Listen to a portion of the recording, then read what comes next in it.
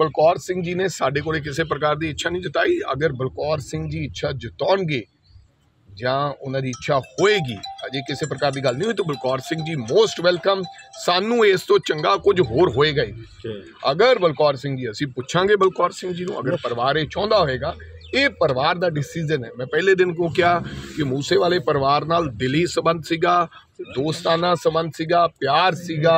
ਉਹਨਾਂ ਨਾਲ ਕਦੇ ਰਾਜਨੀਤੀ ਦੀ ਗੱਲ ਇਸ ਪ੍ਰਕਾਰ ਨਹੀਂ ਕੀਤੀ।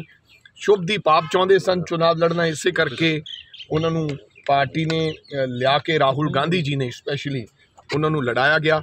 ਅੱਜ ਵੀ ਅਗਰ ਮਾਤਾ ਜੀ, ਬਲਕੌਰ ਸਿੰਘ ਜੀ ਅਗਰ ਇੱਛਾ ਜ਼ਾਹਿਰ ਕਰਨਗੇ, ਬਤੌਰ ਪ੍ਰਧਾਨ ਤੇ ਉਹਨਾਂ ਦੇ ਪਰਿਵਾਰਕ ਦੇ ਨੇੜਲੇ ਸੰਬੰਧਾਂ ਚੋਂ ਹੋਣ ਦੇ ਨਾਤੇ ਮੈਂ ਉਹਨਾਂ ਨੂੰ ਪੁੱਛਾਂਗਾ ਤਾਂ ਬਿਲਕੁਲ ਮੋਸਟ ਵੈਲਕਮ ਹੱਥ ਜੋੜ ਕੇ ਘਰੇ ਜਾ ਕੇ ਅਸੀਂ ਉਹਨਾਂ ਨੂੰ सम्मान करके आऊँगा वली साहब लॉ एंड ऑर्डर सिचुएशन की बात करें पंजाब की इसको आप कैसे देखते हो खासकर जो गोगा मेडी की हत्या हुई राजस्थान में उसकी साजिश यहाँ पंजाब की जेल में हो रही है यार आप बार बार ये बात करते हो लॉ एंड ऑर्डर की कोई है, ऐसी है ही नहीं है कब से जेल- जेल के अंदर जो- लॉ एंड ऑर्डर की अगर आप बात करें तो अभी तक यही नहीं पता चला कि इंटरव्यू किसने ली है मैं मैंने कहने का मर्डर किसने किया ये तो बात छोड़ दो आप आदरणीय मुख्यमंत्री साहब को अभी तक ये नहीं पता चला कि इंटरव्यू किसने किया। इंटरव्यू पता तो है हर चीज़ के बारे में। जब मुख्यमंत्री साहब को पचास पचास साल पुरानी चीज़ों के बारे में पता है कि पुराने पचास साल पहले क्या हुआ था क्या मुख्यमंत्री साहब को ये नहीं पता कि जेल में इंटरव्यू किसने किया और कहाँ पर हुआ? पता है। यही तो प्रॉब्लम है। पता होने के बावजूद भी अगर ये ना बताया जाए और कार्रवाई ना की जाए इस बात की चिंता है। और रुझाना इसलिए ये जो रुझाना आप देख रहे हो, आपने बोला जेल की बात कही, आपने कहीं चौंक चौराहे पे, अब तो लोगों के पिज़्ज़ा हट से भी लोग चाकू निकाल के पैसे निकालने लगे हैं, जो छोटी सी दुकान होती है। तो मेरे कहने का मतलब लॉ एंड ऑर्डर की स्थिति कोई है ही नहीं है। इससे ज़्यादा हालात खराब हो नहीं सकते जिस प्रकार से आज के पंजाब के हालात हैं। बलकौर सिंह जी ने साढ़े को किसी प्रकार की इच्छा नहीं जताई। अगर बलकौर सिंह जी इच्छा जिता ਜਾਂ ਉਹਨਾਂ ਦੀ ਇੱਛਾ ਹੋਏਗੀ। ਅਜੇ ਕਿਸੇ ਪ੍ਰਕਾਰ ਦੀ ਗੱਲ ਨਹੀਂ ਹੋਈ ਤਾਂ ਬਲਕੌਰ ਸਿੰਘ ਜੀ ਮੋਸਟ ਵੈਲਕਮ। ਸਾਨੂੰ ਇਸ ਤੋਂ ਚੰਗਾ ਕੁਝ ਹੋਰ ਹੋਏਗਾ ਹੀ।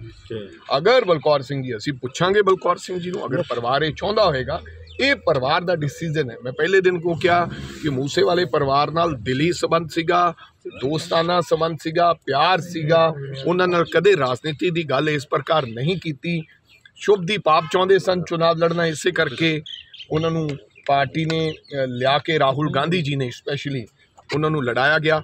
ਅੱਜ ਵੀ ਅਗਰ ਮਾਤਾ ਜੀ, ਬਲਕੌਰ ਸਿੰਘ ਜੀ ਅਗਰ ਇੱਛਾ ਜ਼ਾਹਿਰ ਕਰਨਗੇ, ਬਤੌਰ ਪ੍ਰਧਾਨ ਤੇ ਉਹਨਾਂ ਦੇ ਪਰਿਵਾਰਕ ਦੇ ਨੇੜਲੇ ਸੰਬੰਧਾਂ ਚੋਂ ਹੋਣ ਦੇ ਨਾਤੇ ਮੈਂ ਉਹਨਾਂ ਨੂੰ ਪੁੱਛਾਂਗਾ ਤਾਂ ਬਿਲਕੁਲ ਮੋਸਟ ਵੈਲਕਮ ਹੱਥ ਜੋੜ ਕੇ ਘਰੇ ਜਾ ਕੇ ਅਸੀਂ ਉਹਨਾਂ ਨੂੰ सम्मान करके आऊँगा वली साहब लॉ एंड ऑर्डर सिचुएशन की बात करें पंजाब की इसको आप कैसे देखते हो खासकर जो गोगा मेडी की हत्या हुई राजस्थान में उसकी साजिश यहाँ पंजाब की जेल में हो रही है यार आप बार बार ये बात करते हो लॉ एंड ऑर्डर की कोई है, ऐसी है ही नहीं है कब से जेल- जेल के अंदर जो- लॉ एंड ऑर्डर की अगर आप बात करें तो अभी तक यही नहीं पता चला कि इंटरव्यू किसने ली है मैं मैंने कहने का मर्डर किसने किया ये तो बात छोड़ दो आप आदरणीय मुख्यमंत्री साहब को अभी तक ये नहीं पता चला कि इंटरव्यू किसने किया। इंटरव्यू पता तो है हर चीज़ के बारे में। जब मुख्यमंत्री साहब को पचास पचास साल पुरानी चीज़ों के बारे में पता है कि पुराने पचास साल पहले क्या हुआ था क्या मुख्यमंत्री साहब को ये नहीं पता कि जेल में इंटरव्यू किसने किया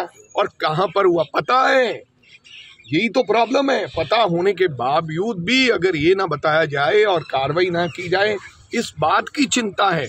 और रुझाना इसलिए ये जो रुझाना आप देख रहे हो, आपने बोला जेल की बात कही, आपने कहीं चौंक चौराहे पे, अब तो लोगों के पिज्जा हट से भी लोग चाकू निकाल के पैसे निकालने लगे हैं, जो छोटी सी दुकान होती है। तो मेरे कहने का मतलब लॉ एंड ऑर्डर की स्थिति कोई है ही नहीं है।